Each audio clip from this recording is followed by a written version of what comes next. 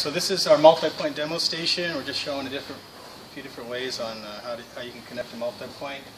So we have one user that's uh, the main admin user. We're using a, a laptop.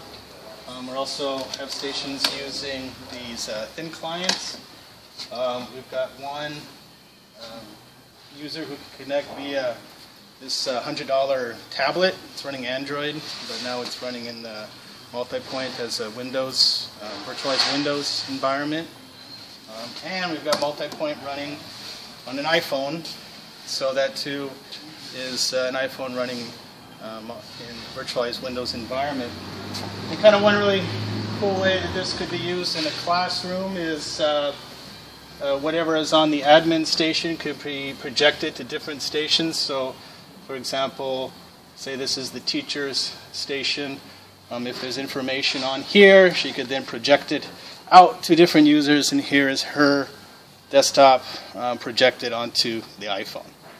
So, just uh, yeah, a few few ways in how multi-point can be utilized.